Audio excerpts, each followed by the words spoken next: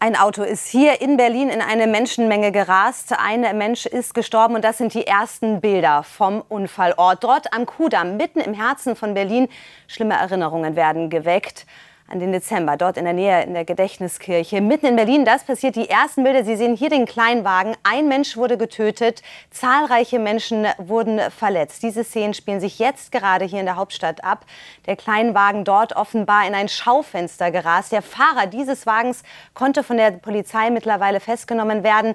Dennoch jetzt in diesen Minuten ein Großaufgebot dort von Polizei und Feuerwehr. Ein Mensch tot, zahlreiche Menschen sind verletzt. Unsere Reporter natürlich auf dem Weg dorthin. Sie sehen dort Stühle und Tische wurden mitgerissen, dort ein angrenzendes Straßencafé. Dort mitten auf dem Kudamm ein Toter, mehrere Verletzte. Unsere Reporter auf dem Weg dorthin.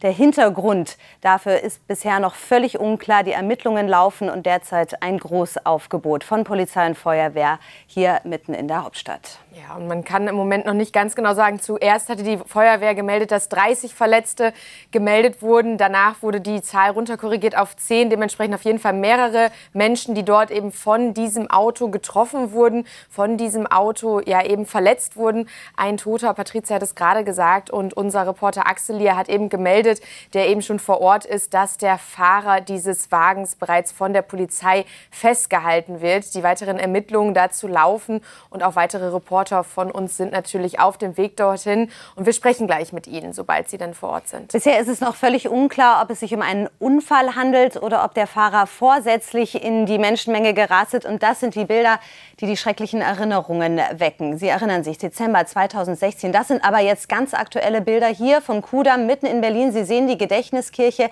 wenige Meter nur entfernt. Im Jahr 2016 der Terrorist Anis Amri rast dort in den Weihnachtsmarkt. Wir erinnern uns alle daran, ganz Deutschland erinnert sich daran. Und jetzt heute, an diesem Tag, nur wenige Meter entfernt, rast ein Auto in eine Menschenmenge.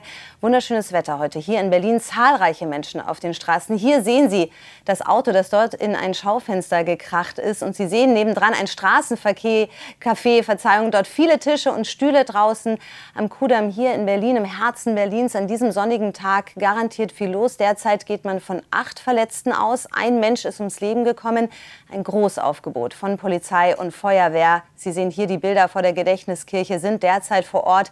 Auch unsere Reporter natürlich jetzt auf dem Weg dorthin, um alle Hintergründe herauszufinden. Ein Toter, mehrere Menschen verletzt.